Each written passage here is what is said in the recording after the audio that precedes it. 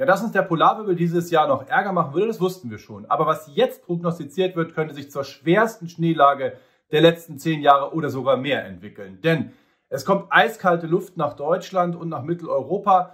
Mehrere Wettermodelle zeigen das jetzt an für Mitte, Ende nächster Woche. So, damit kommt massive Kaltluft zu uns, denn der Polarwirbel, der wird zerbrechen. So, und das heißt, Kaltluft flutet nicht nur Mitteleuropa, sondern vielleicht auch dringt bis zu den britischen Inseln vor, vielleicht sogar bis nach Spanien.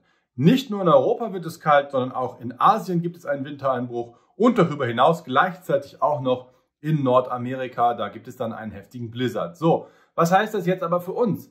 Das Problem ist, dass Kaltluft gleichzeitig auf sehr warme Luft aus Süden trifft. Das könnte sich sogar 5B-artig entwickeln, also warme Luft auf Süden trifft auf kalte Luft im Norden. Das heißt, es gibt sehr viel Schnee. Man mag ja gar kaum noch sagen, also man mag es kaum vorlesen, was die Modelle so prognostizieren. Halber Meter Schneefall oder sogar mehr in Deutschland, im Tiefland ist möglich. Die einzige Frage ist noch, wo wird der Schnee fallen?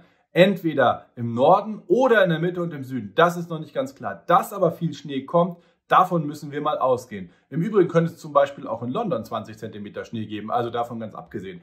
Also, es kommt eine extreme Schneelage auf uns zu nächste Woche. Wir wissen noch nicht genau, wie lange das anhalten wird. Das können wenige Tage sein oder auch mehrere Wochen. Das wird sich erst in den nächsten Tagen hoffentlich klären. Auf jeden Fall sollten wir uns darauf einstellen, dass der Winter nicht vorbei ist. Der härteste Abschnitt des Winters kommt wahrscheinlich erst auf uns zu. Die besten Vorhersagen für Ihren Ort finden Sie auf weather.com.